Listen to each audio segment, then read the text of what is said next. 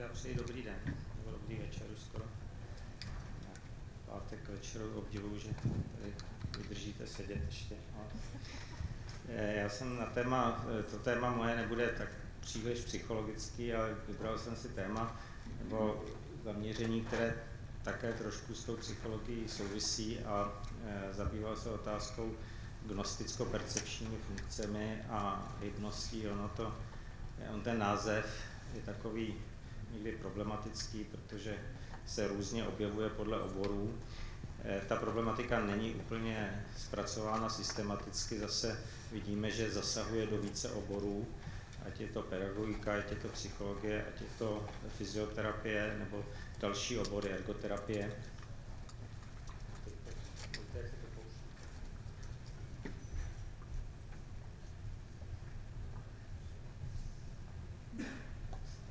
Technicky Takže eh,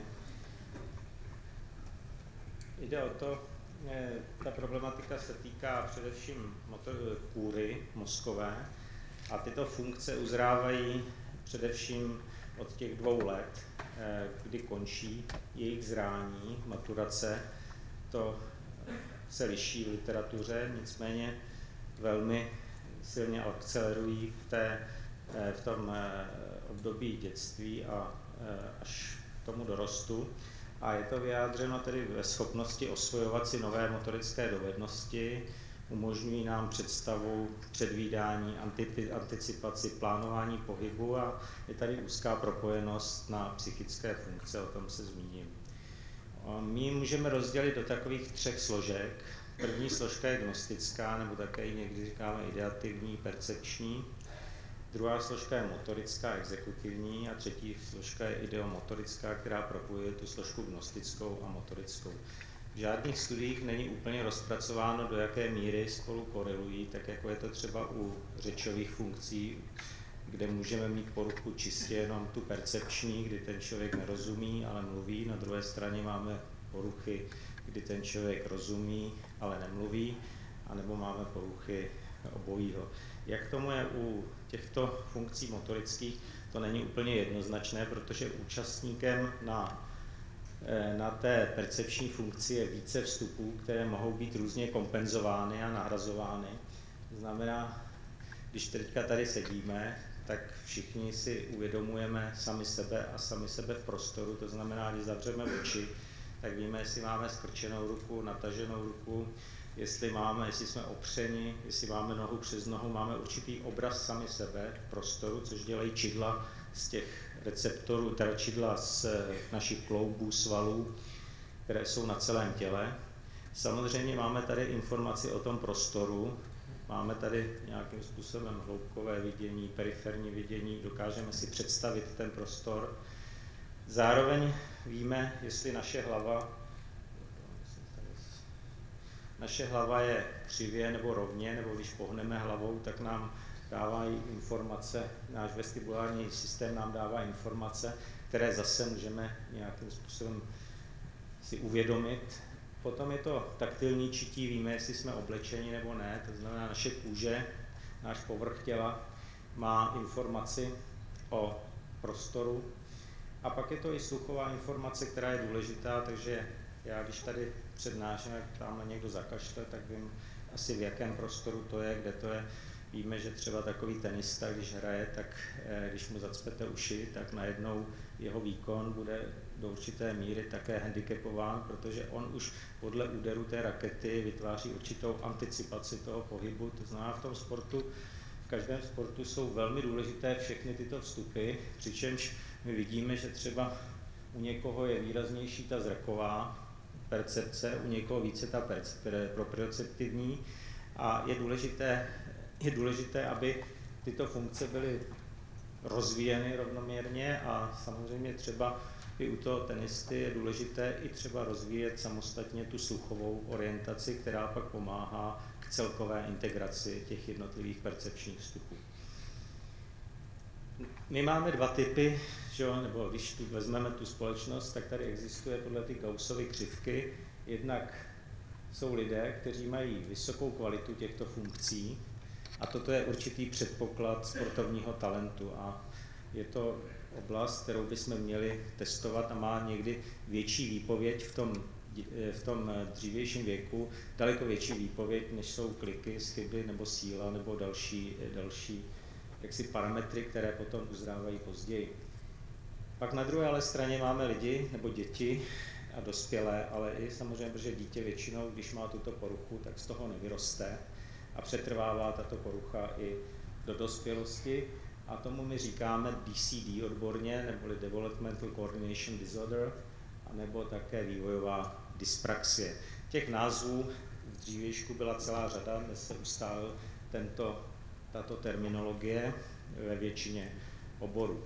Typickými příznaky, se kterými přichází děti, kteří mají poruchy v této oblasti, tak jsou, že oni vám nepřijdou a neřeknou vám, mám vývojovou dyspraxii, nebo neřeknou, mám nějakou DCD, ale většinou k vám přijdou, že je bolí hlava, nebo mají svírání žaludku, nebo únavu, závrať, nevolnost.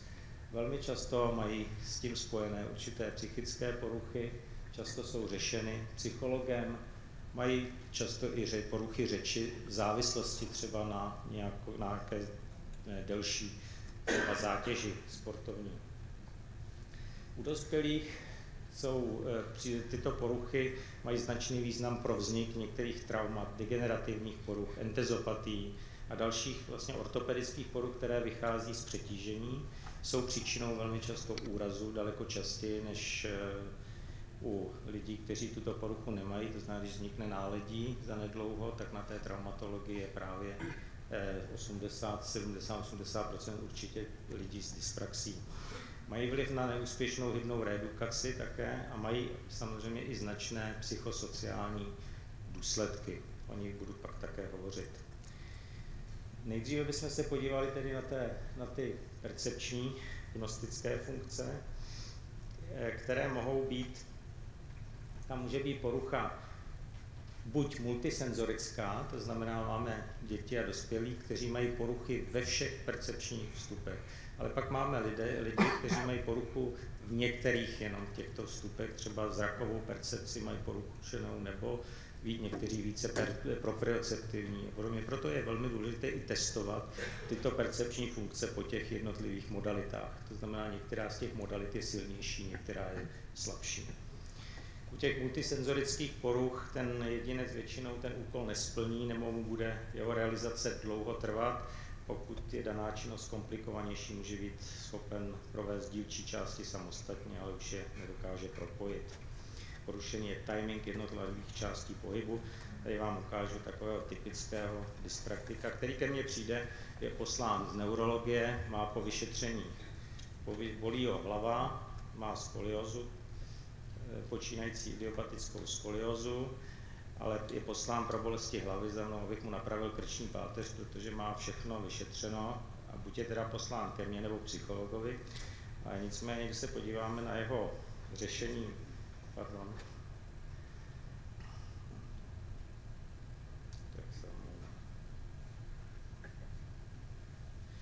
na jeho řešení situace maminka mu říká, otoč se ze zad na bříško,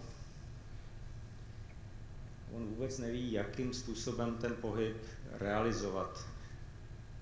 Ten úkol pro něj, jeho anticipace pohybu, představa pohybu je významně porušená. Přitom je velmi inteligentní, když přijdete na Matfis, tak ji hodně uvidíte tam, taky. Ta, ta inteligence s tím nemá moc, moc souvislost. On to dokonce může dotáhnout hodně vysoko i politicky, takže... takže...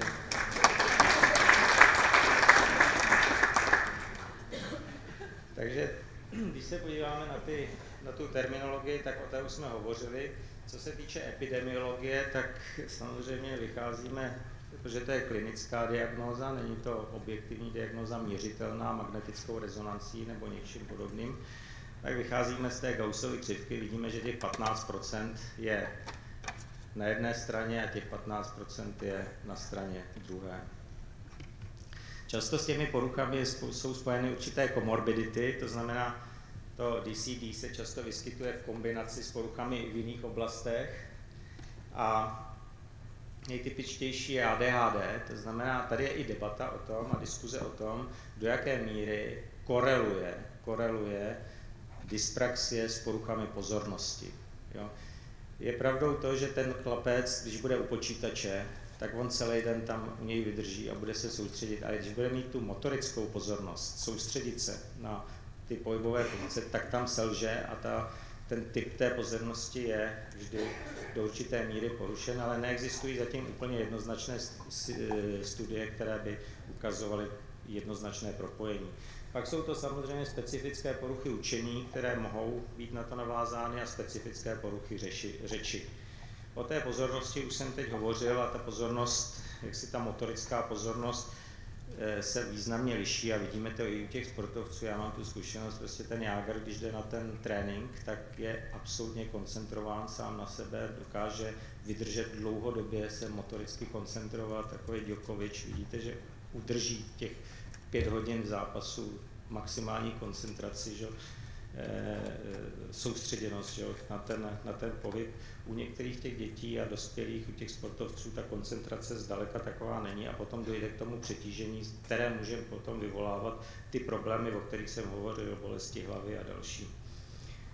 E, co bylo zjištěno, že u těch jedinců e, tam s tou patologií jsou největší problémy nebo největší nález je v oblasti eh, frontoparietálního systému, kde jsou takzvané zrcadlové neurony, které umožňují napodobování. Jsou to neurony, které, které umožňují imitovat, imitovat pohyb, grimasy, i sociální vlastně jednání, chování.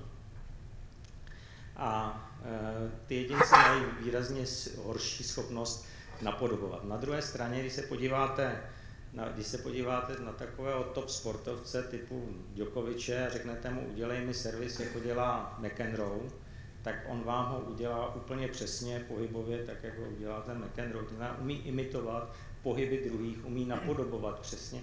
A to jsem si všiml už dlouhodobě předtím, než jsem vůbec se touhle problematikou začal trošku zabývat, že ta imitace, ta schopnost napodobit je u těch sportovců s tím nadáním, dobrým nadáním v této oblasti daleko lepší.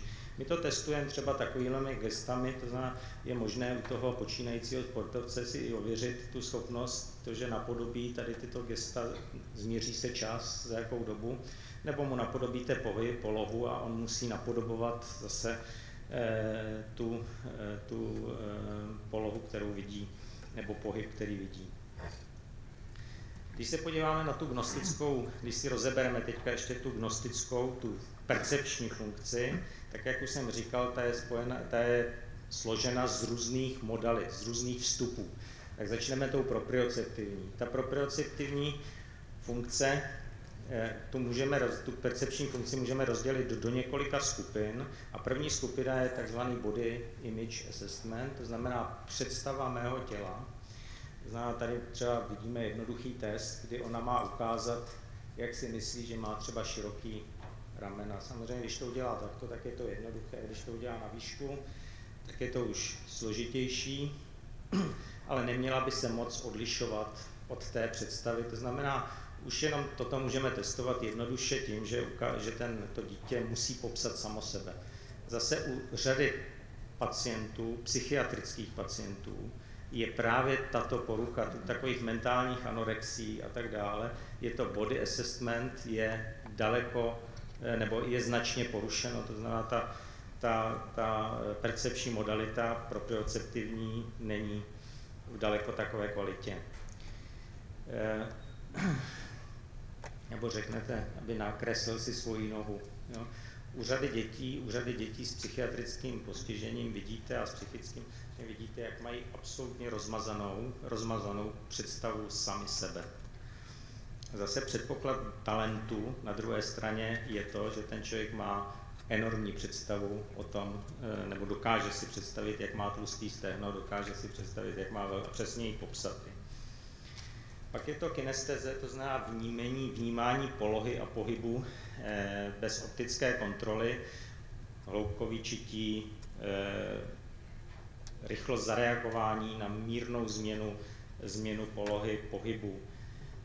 Ukázat, tady ukážeš zpátky a musíš zase napodobit přesně tu polohu, kterou si, eh, kterou si měl před, eh, předtím.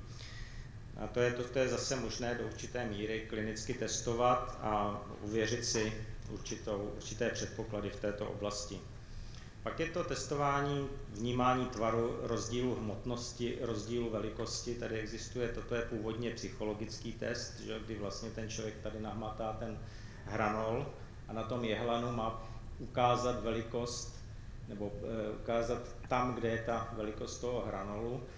A zase toto bylo využíváno k percepci a kognitivnímu zpracování bolesti u těch jedinců, kteří šahali níž nebo výš, tak bylo, nebo je, je i jiné nebo porušené kognitivní zpracování bolesti. A to je velmi úzce propojeno. Ten, kdo má proprioceptivní, proprioceptivní modalitu, percepčně chybně zpracovanou, tak má velmi často i kognitivně chybně zpracovanou bolest.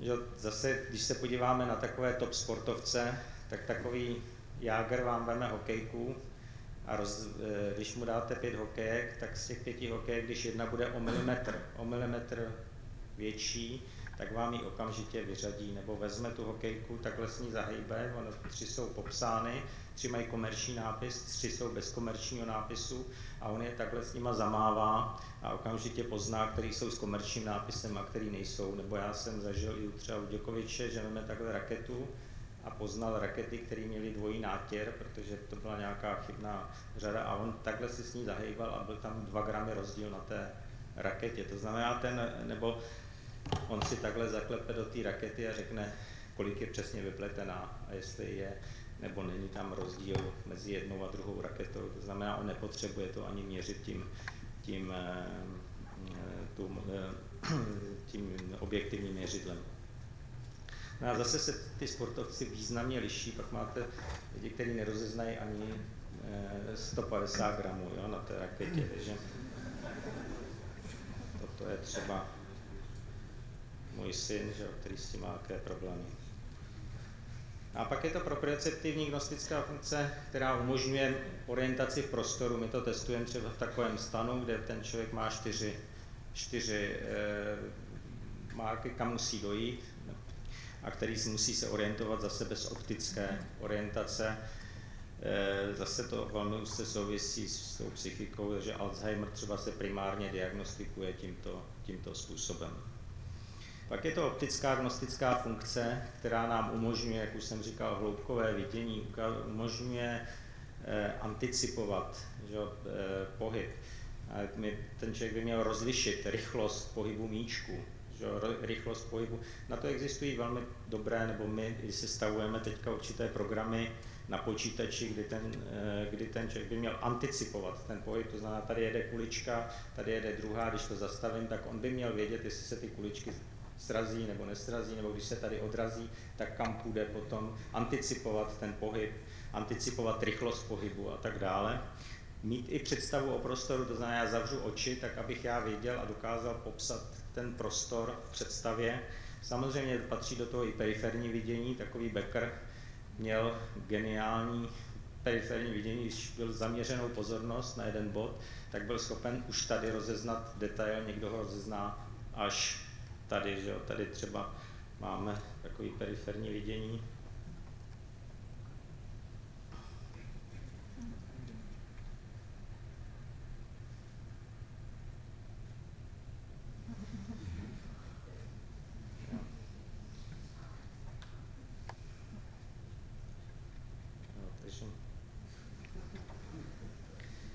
Zase máme periferní vidění laterální, máme periferní vidění periferní vidění e, vertikální, takže takový brankář Čech má vynikající periferní vidění tady, ale tady už mu končí periferní vidění, proto jeho vybíhání není tak stabilní jako, jako jinýho brankáře. Jo? Ale to je objektivně doopravdy.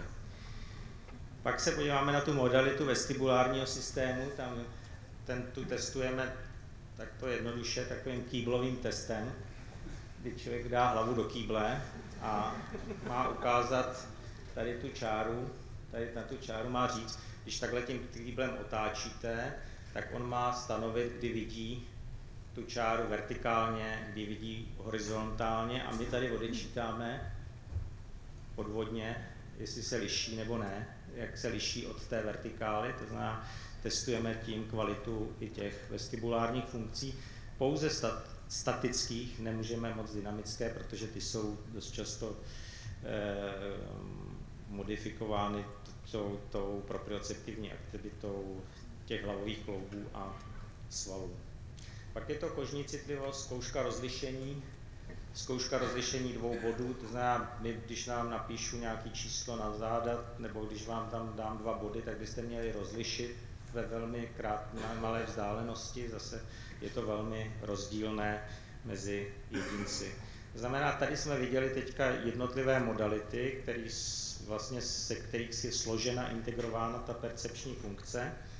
A teď bych, eh, a poruchy v jednotlivých modalitách se promítají i do chování většinou. My to vidíme u dětí, když mají třeba poruchu zrakové percepce, tak to vede k určitému typu chování, které potom řešíme speciální pedagogikou, ale můžeme je řešit tím, že budeme zlepšovat cvičením tu percepční optickou funkci. Stejně tak například porucha vestibulárního aparátu se promítá do typu chování toho dítěte, do určitých jeho úzkostí, do jeho, do jeho eh, sociálního sociální komunikace, poruchy kožní percepce, zase vidíme, že dítěti třeba s hyposenzivitou nevadí tváře potřísněné jídlem, dítě často rozbíjí hračky, velmi silně tlačí pastelkou, často si ubližuje. Na druhé straně zase uniká dotyku, nechce, nesnáší česání vlasů, velmi špatně snáší doteky během oblékání. Že? Když si to přečtem, tak se tam možná někdy najdeme.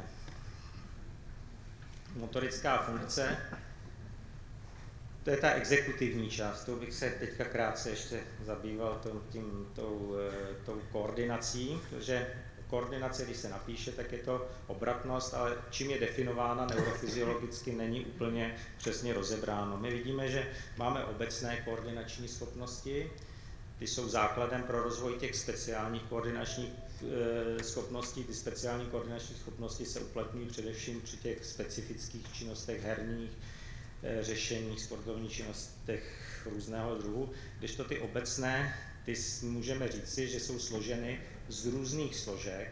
Je to komplex, je to určitý komplex dílčích relativně samostatných schopností, i když tedy provázaných. A já bych tady některé z nich e, rozebral. První je schopnost e,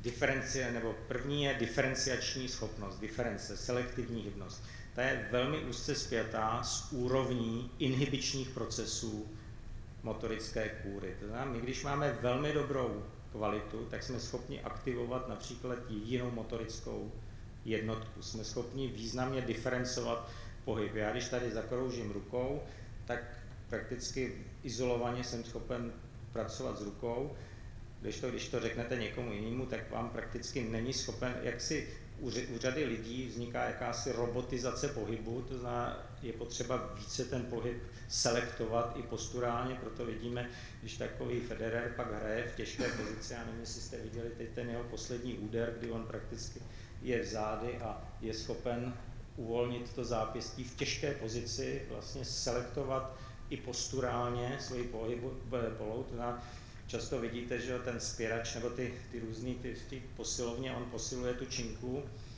a vidíte, jak ji zavírá přitom ty prsty u nohou, že jo, jakým způsobem zavírá, jakým způsobem aktivuje třeba i dolní končetiny, jakmile mu řeknete, aby změnil polohu třeba dolních končetin, nebo aby uvolnil dolní končetiny, nebo udělal extenzi prstů a zvednul tu činku, tak najednou zjistíte, že zvedne o polovičku méně, protože nedokáže ten pohyb selektovat, oddělit od toho globálního vzoru. Ta selektivní hybnost je daná úrovní relaxační funkce také a proto já zase vidím těch top sportovců, není otázka síly, takový Bolt má má vynikající relaxační schopnost, je schopen, a to souvisí i s tím přepojováním, protože když on běží, tak on musí přepojovat kon, koncentrickou a excentrickou funkci, neustále. To znamená, on na tom, v tom kyčelním kloubu, v říšních svalech a tak dále, na jedné straně funguje koncentricky, pak excentricky. A to přepojování do té excentrické funkce je velmi zásadní a e, je to potom otázka, e, e, tady vidíme třeba takový neselektivní pohyb, integrovaný, já chci potom chlapci, aby mě díval se na to tušku, vidíte, že on integruje do toho pohybu, jak chci, aby jenom očima, že? on není schopen rozdělit oči od hlavy, dokonce oči od hlavy a to od jazyka. Jo? No, ono, to je, ono to je v centrálním řízení, takový železný, když bude házet, tak vidíme, že on bude házet a když se mu podíváte do pusy, tak bude mít jazyk na stranu odhodové končetiny. A když mu řeknete, aby dal jazyk na druhou stranu, tak hodí o 10 metrů méně, protože ten jazyk je integrován do těch globálních funkcí, ale on je schopen ten jazyk dát na druhou stranu, ale proti ostatním zase, když řekne mu, aby dal jazyk na druhou stranu, nebo třeba nadal, když vidíte nadal, když podává, tak se podívejte na jeho grimasu, jak integruje tu orofaciální hybnost, ale je schopen hodit tím oštěpem a dát ten jazyk na druhou stranu a nehodí o moc méně, hodí méně, ale nehodí o moc méně, jiný hodí, ten, který má tu selektivní hybnost horší, nebo tu, eh, tu koordinační funkci horší, tak samozřejmě hodí o dost méně.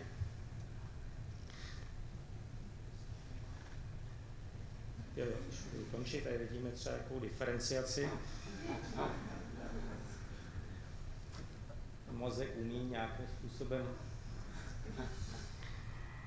například ovlivnit diastázu, že jo, vidíte, jakým způsobem, že jo, a samozřejmě tady zase, když on bude mít třeba plotínku, tak se s tou plotínkou vypořádá lépe než třeba tenhle člověk, který, který tu koordinační funkci má horší. Že?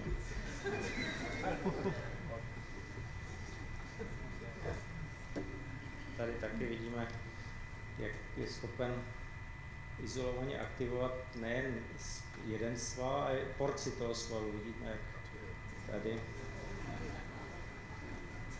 Samozřejmě důsledky těch jeho svalů, které působí velkou silou na ty klouby, a to nebudou zdaleka tak, eh, tak špatné, jako potom u někoho, kdo tuto diferenciaci nemá, který dělá ty svaly, eh, svaly v té posilovně a neumí je ovládat samozřejmě. Tady vidíme taky takového výborného sportovce bez dyspraxie. Vidíte, když bude zvedat tu činku, co si tady udělá s těma zádama. Vidíte, jak teď a teď to všechno pošle do těch zad, že? to je jenom otázka času, kdy bude mít nějaký nález. Když mu ale změní, když změní tu polohu, nebo když změní ten, eh, když mu řeknete, aby změnil tu posturu, tak on to, eh, on zvedne o polovičku méně.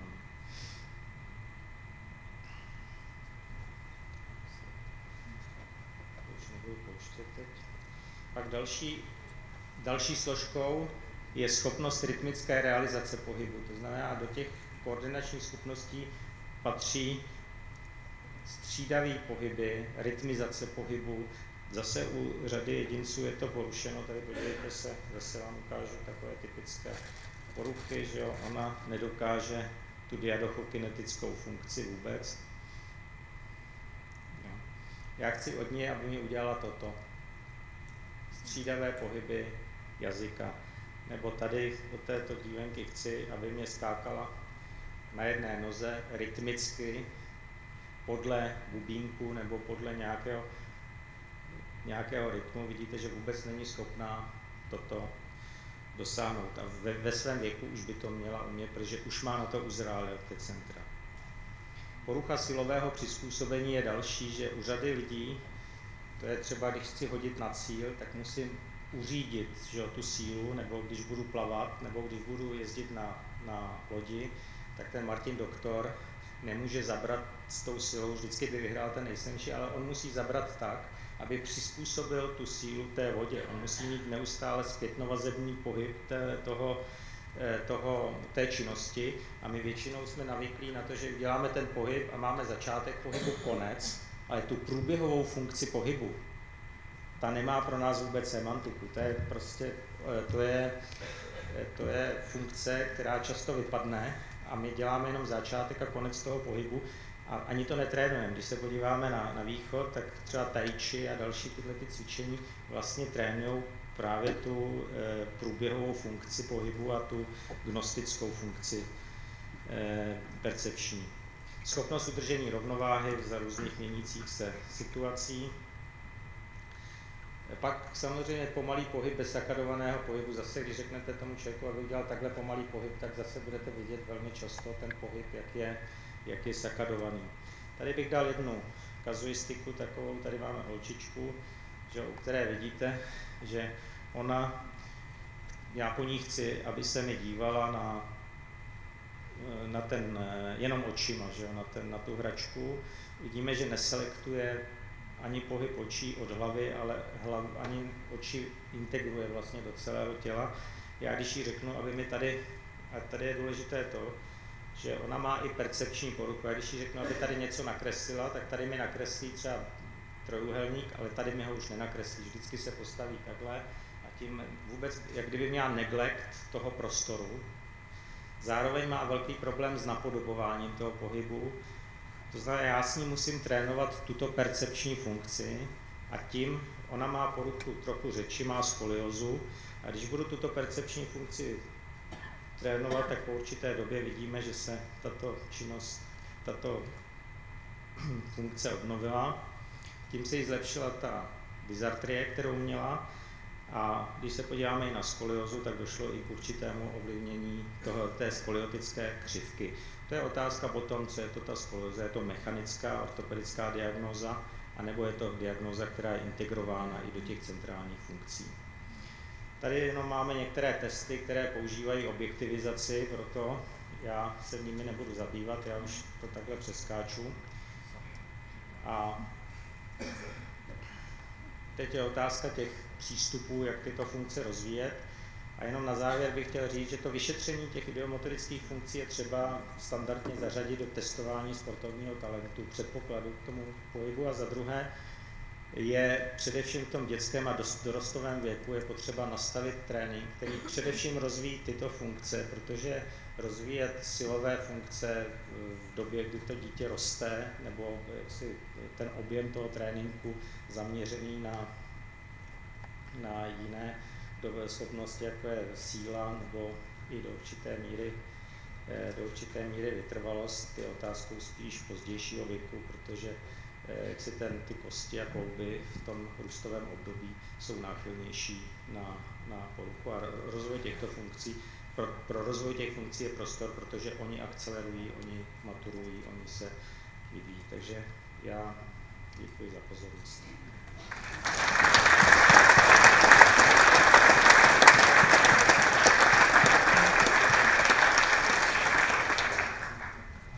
děkuji panu profesorovi, ještě nám neutíkejte, prosím. Prosím na pódium paní profesorku Válkovou a pana doktora Durského.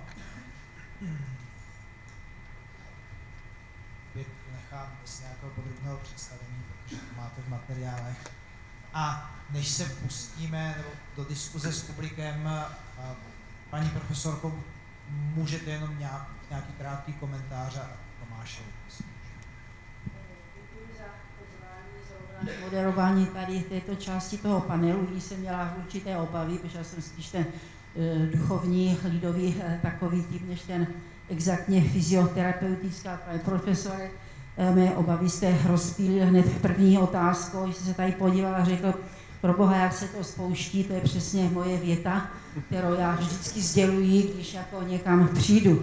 Takže teď už mohu jako pokračovat v určité myšlence, především v tom potržení, že opravdu tělo a duše jedno jsou a že prostě to nelze oddělit, ať řešíme nadání, nebo řešíme nějaké terapeutické nebo dokonce preventivní procesy.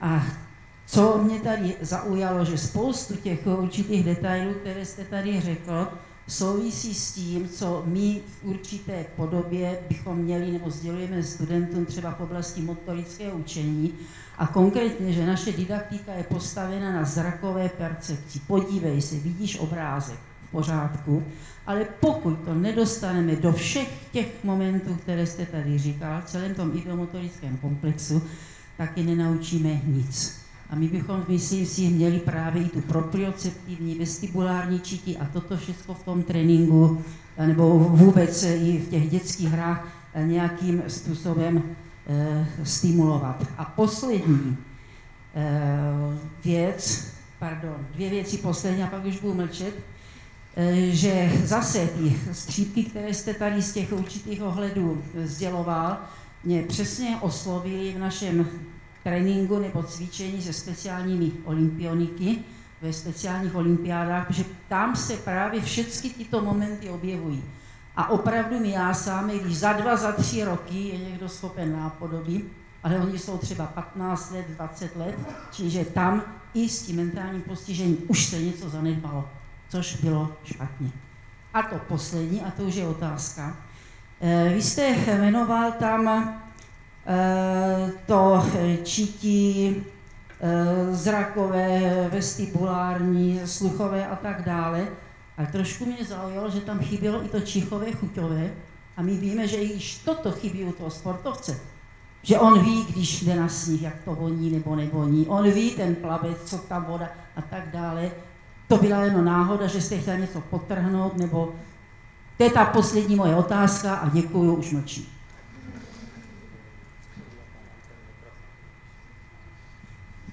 Já jsem zase neviděla, jo, tak dám mikrofon.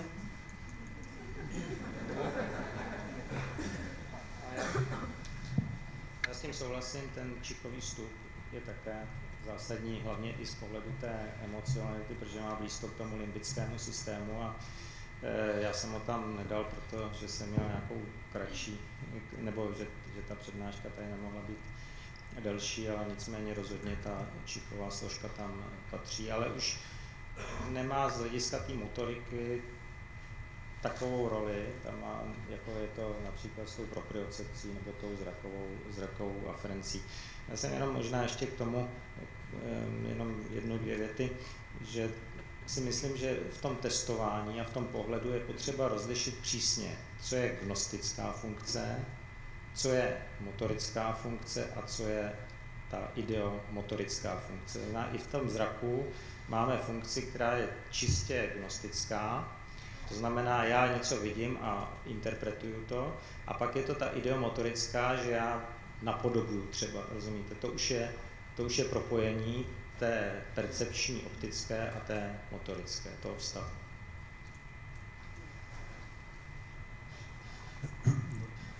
Já bych velmi poděkoval panu profesorovi za eh, takýto postup a vůbec přístup k problematike Mňa vždycky obohacovali prednášky odborníkov z príbuzných oblastí a interdisciplinárny prístup, ktorý si myslím, že ale stále trochu postrádame v tejto krajine, ale aj ten pohľad už samotný je veľmi ako inšpirujúca záležitosť. Ja som na vašej prednáške bol už pred 15 rokmi v Bratislave približne. To bolo na telovýchovnej škole, keď ste obnaženého športovca si položil na, na stôl a ste s ním robil rôzne manipulačné e, techniky. No a mne príde, že väčšina tu e, publika je orientovaná športopsychologicky a ja som, a, ale myslím si, že dnes ten prístup e, pozerať sa na problém z rôznych týchto odborných hľadisk je velice dobrý. Mne tiež pomohlo kolega Urban Jonsson z Univerzity Lund, kde majú vo Švedsku, kde majú takýto disciplinárny prístup k športovcom po zranení, že sa s nimi zapodievajú fyzioterapeuti, doktory, tí tréneri do toho vidia samozrejme aj psychológovia a ten príspevok psychológa je v tej, v tej imaginatívnej a relaxačnej oblasti, že tí športovci po zranení vlastne sa im akoby menia tie, tie pohybové stereotypy a návyky začnú mať problémy s rôznymi úplne inými pohybovými vzorcami, jak mali dovtedy. A urobia aj veľmi zaujímavý výskum, čo sa týka prevencie vo fotbale, v hokeji, kde na niekoľkých desiatkách pokusných osob, ktoré boli vopred inštruované naučiť sa techniky relaxačné, zhruba na, na, na úrovni autogénneho tréningu plus správnych predstav pohybu v tej danej činnosti mali výrazne, signifikantne menej zranení ako športovci, ktorí boli kontrolnou vzorkou. Takže to sú veľmi podľa mňa podnetné veci. Ja som sa zapodieval minule, žiaľ teda iba kazuisticky na dvoch prípadoch športovcami, ktorí mali opakované zranenia. Že istý typ zranenia sa v ich kariére opakoval s veľkou podobnosťou aj za, aj za podobných okolností a že sme vlastne prepracovávali tú skúsenosť e, takou technikou reframingu, že sme išli do, toho, do tých situácií, kedy sa im to stalo a, a aké kroky viedli k tomu zraneniu a tí si mali reframovať a prerámcovať si tú svoju skúsenosť, aby už v budúcnosti ten istý stereotyp nikdy nenastal. Bol to Šermiar, špičkový, ktorý e, vlastne asi 5 či 6 krát mal problémy zdravotné a vždycky to bolo, e, to bolo v tom šermiarskom zápase, ale to bola z jazdarka, ktorá tiež mala taký opakovaný problém pri tréningu slalomu. E, mne to príde ako veľmi zaujímavá oblasť, sa budem rád vzdelávať. Možná jenom těm relaxačním schopnostem, že si myslím, že ono to není nikde úplně popsáno, ale myslím si, že čím lepší právě percepční funkce, gnostická percepční, gnostická funkce proprioceptivní, tím i lepší relaxační schopnost toho člověka. Že opačně. Ale myslím, že ono potom, že u toho sportu nejde, eh, že ty, ono dost často se posiluje pro rozvoj té síly, ale co, je, co se musí posilovat, je i v rámci toho posilování relaxace. Jo, to je jedna z věcí, kterou, eh, která není úplně respektovaná, že já i když zvedám těch 100 kg, tak musím přitom trénovat relaxační funkci, to znamená odpojit třeba dolní končetinu od toho pohybu, nebo prostě když udělám na, na žebřinách eh, přednos, tak musím umět uvolnit třeba přednoží, jo? že prostě ten, ten robotický způsob toho posilování je eh, často preferovaná a ta, ta relaxační funkce do toho posilování nejde. A za druhé, prostě rozvoj, rozvoj té percepce, gnostic, percepce proprioceptivní, to uvědomování, neustále si uvědomování toho, toho svého eh, těla, pohybu, potom vede i k lepší relaxační funkci. A jedna z věcí ještě, že je potřeba rozlišit možná kořenovou a akrální hybnost, tak je to taky není úplně, protože Eh, někteří lidé mají vynikající percepční, gnostickou a motorickou funkci akrálně, ale už ji nemají tolik kořenově. To je třeba u hudebníků, to je vidět, jak oni třeba hrajou. Tak vidíte houslistu, který hraje takto, jo, nebo moravec, ten hraje na klavír, hraje takto. A pak máte muzikanty, kteří hrajou úplně jiným způsobem, že integrují do toho tu kořenovou hybnost, třeba levit, když palpoval, tak palpoval rukou. Já tou rukou ne, ne, nejsem schopen, já jsem schopen, můžu palpovat svým tělem, přenes, eh, přenes to kořenově, to znamená, je tady celá řada dílčích otázek, které ještě se na tuto problematiku vážou a jejich, eh, jejich obrovské množství jsou integrovány do různých oborů, ale včetně, včetně psychologie, včetně filozofie, včetně dalších oborů. Ještě teda, než se rozmyslí další, bych chtěla jako potrhnout, že my se tady bavíme o vrcholovém sportu, tak jako logicky, ale ta sportovní psychologie by se nám měla týkat i trošku tvýho pohybu běžného všedního dne, že tyto problémy, třeba ta dyspraxie se nám objeví tehdy, když mám na kraji cibulu a uh, uříznu si prst. To si myslím, že je někdy zrovna tak závažné, uh, jako ta otázka toho vrcholového sportu. Ano, a souvisí to opravdu s tím, že od dětství až z preventivních nebo z rehabilitačních důvodů je potřeba neustále od rodiny až, až, až teda třeba po ten výběr do toho sportu to nějakým způsobem řešit, tak bychom nebyli zaujatí jenom nějakou medailí, jo, ale prostě i životními záležitostmi. Děkuju. Dovolím si tedy otevřít diskuzi s publika. Večer, Jaroslav Dvorský, FTVS. Pane profesore, eh, jak je to s eh, se smyslem pro rytmus, anebo dokonce s hudebním sluchem. Má jejich deficit nějaký dopad na učení se pohybu, nebo dokonce i na ten vrcholový takový pohyb? No, já jsem o tom hovořil, já samozřejmě hudební sluch a eh, vnímání rytmu eh, z hlediska hudebního sluchu nevím, jak úplně koreluje s, se schopností rytmizovat pohyb. Jo? To, to, ne, to nevím. Ale nicméně je jednoznačné to, že zase u těch dyspraktiků dětí, které mají poruchu, ta rytmizace, prostě rytmus toho pohybu je poškozená. To je mozečková funkce, je to vlastně neokortex, který je velmi úzce propojen eh, s frontálními centry, to znamená s eh, frontoparietální oblastí a trénovat tu rytmizaci považuji za velmi důležitou složku právě v, eh, obecně, obecně obecně. To znamená, to je, ať je to fotbalista, hokejista, tenista, rytmizaci toho považuji za velmi důležité. Nevím, do jaké míry to souvisí, nebo do jaké míry, když e, mám vnímat, vnímat hudebí, třeba hudbu a její rytmus, do jaké míry s tím to koreluje nebo ne, nebo koresponduje. To jsem nikde nečet, nebo ne, ne, ne, nemám, nemám tu zkušenost. Uh. Michal Vyčar, Fakulta tělesné kultury, pane profesore, já bych se vás chtěl zeptat, který sport byste eh, podle vašeho názoru je takový jako nejvhodnější pro děti pro rozvoj právě tady těchto percepčních schopností, o kterých se hovořil? No tak eh, samozřejmě je to eh, sport, který že já jsem dělal gymnastiku, tak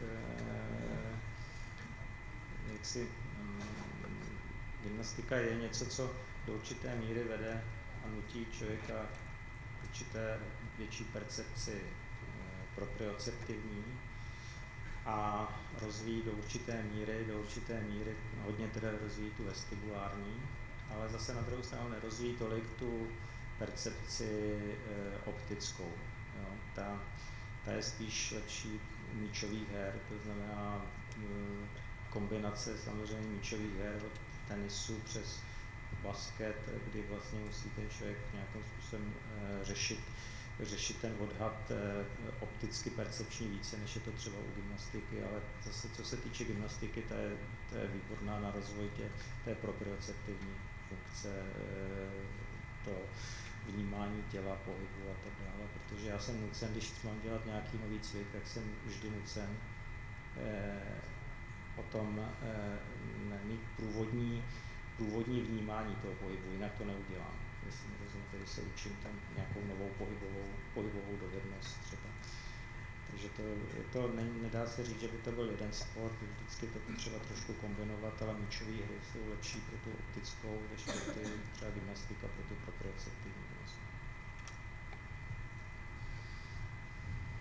Jsem zaregistroval se zatím není narušen. Dobrý večer, Blanka Roháčková, taneční sport.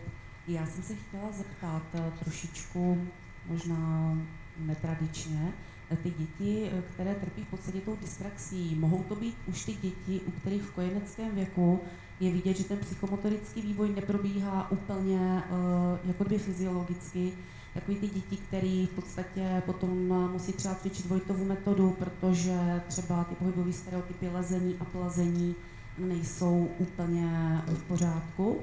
Mohou to být tyto děti?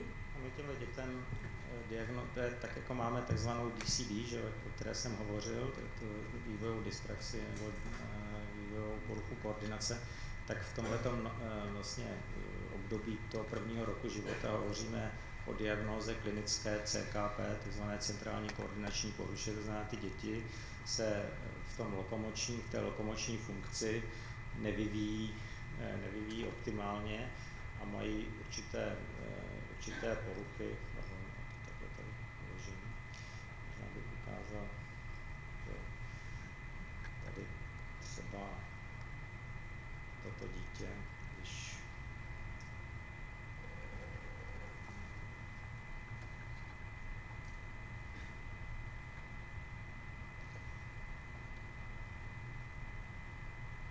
třeba když se podíváme na tuto holčičku, tak toto je holčička třeba šestiměsíční, která vydá polní končetiny nebo pětiměsíční.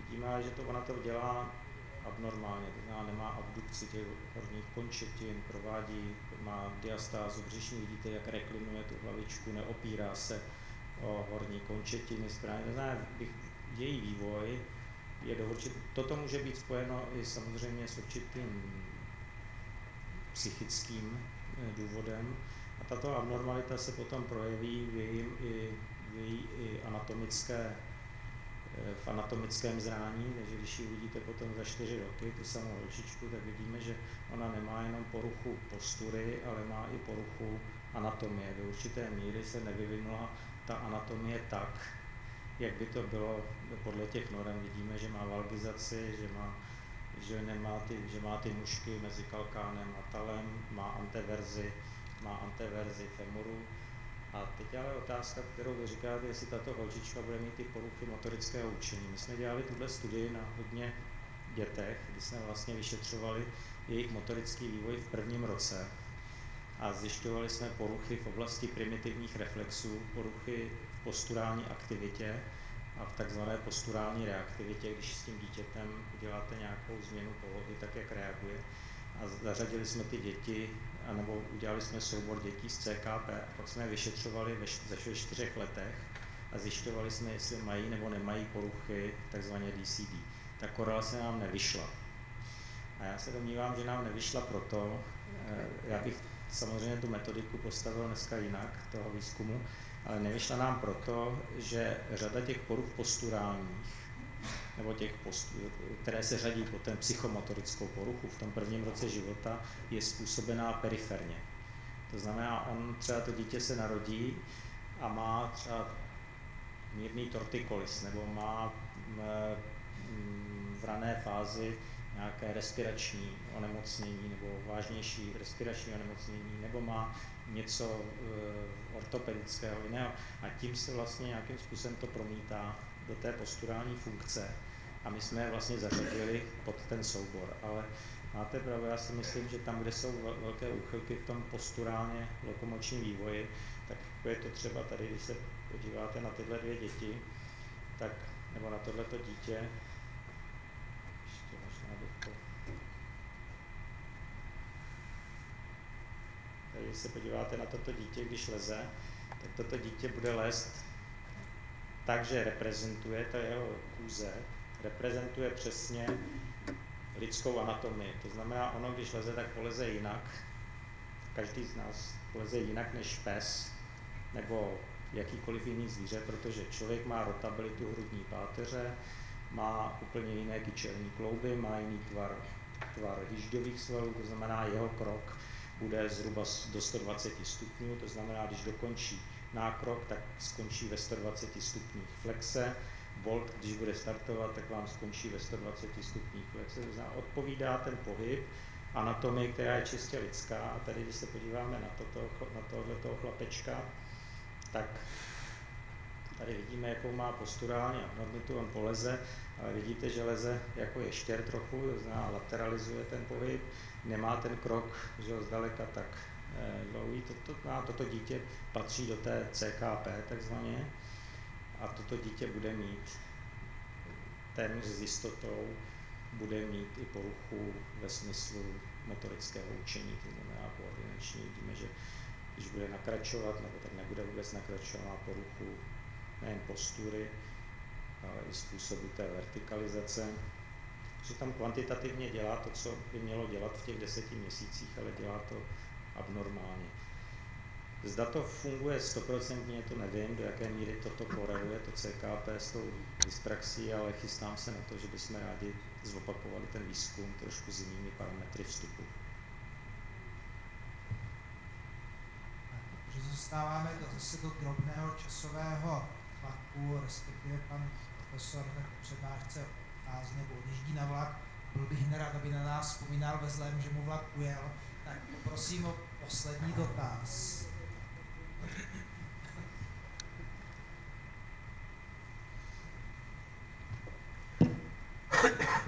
Můžeme diskutovat klidně.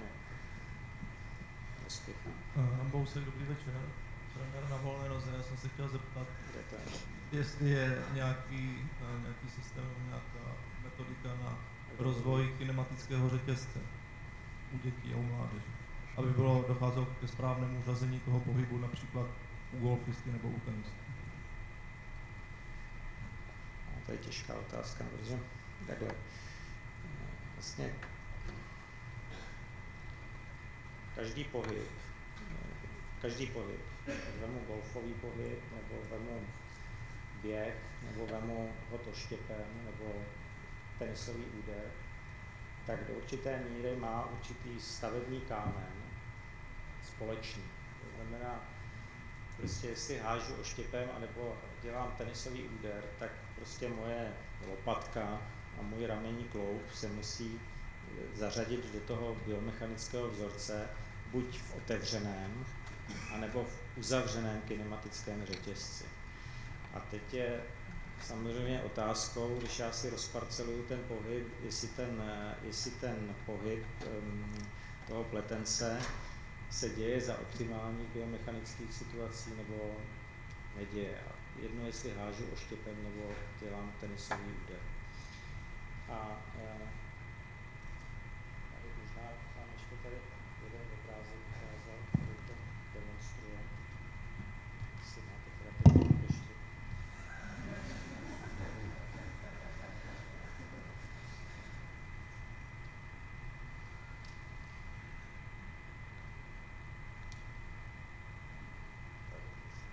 Třeba.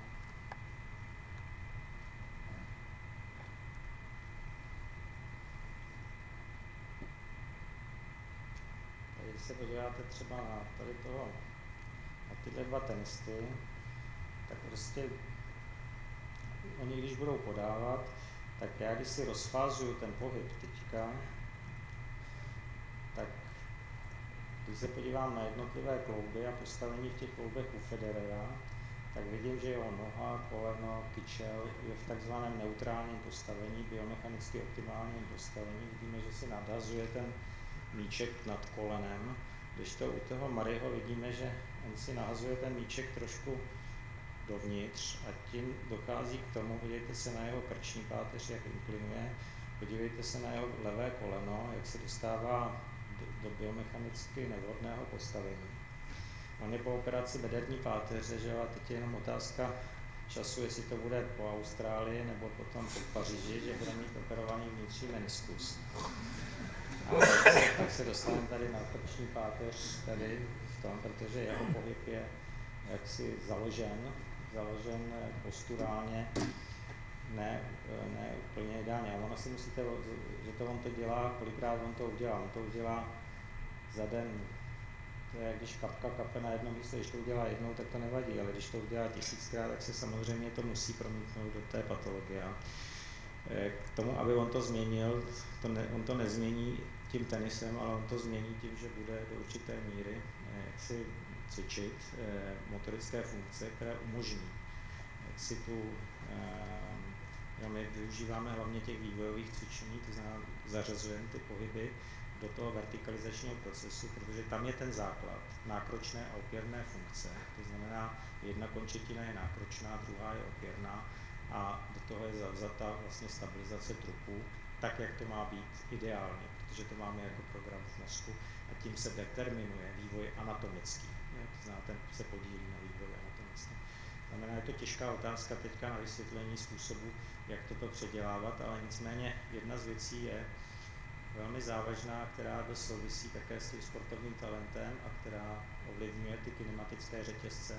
Já jsem to nevěděl proč, ale já když jsem dělal gymnastiku, tak byly cviky, které prakticky jsem skoro nemohl dosáhnout. Jo, a byly to celkem i jednoduché cviky. Na druhé straně byly cviky, které jsem proti ostatním dělal s úplnou jednoduchostí a úplně jinou silou než ostatní. A bylo to proto, že můj ramenní kloub, když se na něj podíváte, jak já mám maximálně zevní rotaci, mám bariéru, takže prostě víc než takto neudělám do zevní rotace. Když to takový Djokovic nebo ten ta jeho, jeho kloub má retroverzi, já mám antiverzi jamky. Že mám antivézy jamky, tak nemůžu dělat věci, jako je třeba na koni nebo zevní rotace. Já můžu je posilovat od rána do večera, ale ta moje anatomie je predisponuje k tomu, že prostě tu sílu v tom nemůžu mít. Stejně tak v tenisu, když budu mít, když budu mít pacienta, třeba nebo když ke mně přijde eh, dítě a bude mít, eh, bude mít tak, takovéto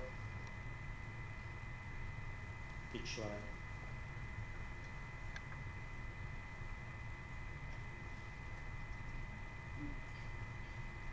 bude mít toto,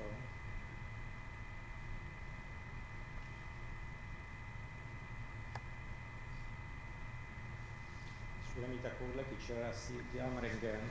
A vidíte tam to červený a to modrý, to znamená, v tom rengenu neuvidím do té kyčle, on bude mít retroverzi jamky a bude hrát fotbal, tak je 90% jistota, že ke mně přijde, že bude mít bolesti v třísle, nebo že ho bude bolet záda, nebo že si tady natrhne břišní sval, protože jeho kyčel není disponovaná k tomu, aby měl vnitřní rotaci a abdukci a bude mít v určitých oblastech velmi slabou nebo omezenou sílu.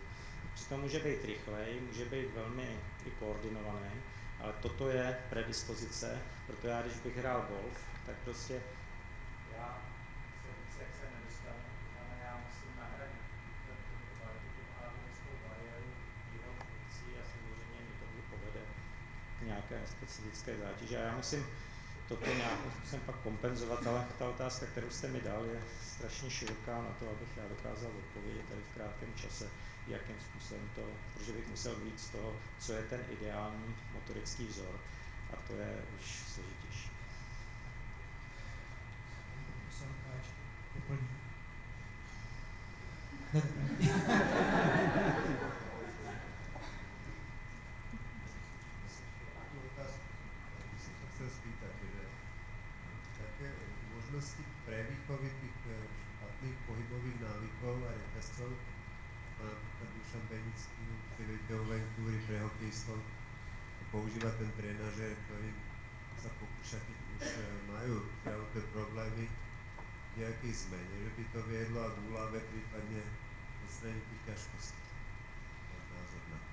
je to, je to otázka, která má dvě roviny. Za prvé, předělat hybný stereotyp také záleží právě na kvalitě těch centrálních funkcí. Takový Federer se naučil ten vzor ideálně proto, že on ho lépe cítil, taky vnímal. Ta ekonomizace toho pohybu je daná i tímto. A samozřejmě předělat u něj pohyb je jednodušší, než předělat u třeba jiného tenisty. Na druhou stranu, když se podíváme na eh, třeba tady Nadala, myslím,